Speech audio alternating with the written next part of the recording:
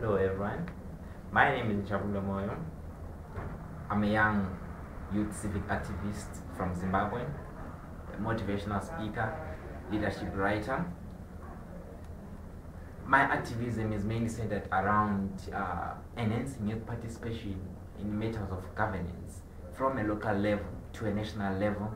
It is about bridging uh, uh, the leadership gap that currently exists between the young generation and the old generation. It is about uh, bringing platforms for them to engage for the purpose of development, for the purpose of uh, a good future and a bright future that is good. Young people who practice transformational leadership.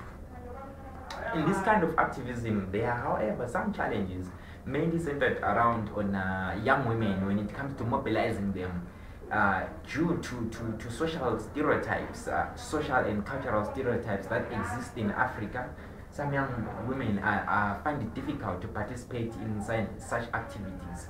However, we are, oh, uh, through, uh, through other networks, trying to encourage that uh, culture, to break that culture of, of creating stereotypes around young men. I find the idea of, of working with young people most rewarding as they engage, as they come up with ideas, as they network, as they implement those ideas that they have uh, in their mind.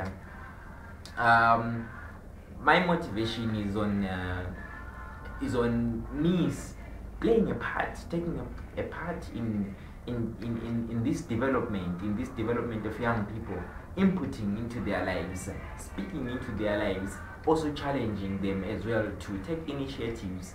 Uh, in transforming the world to challenge them to, to, to see opportunities and challenges that they encounter. Thank you.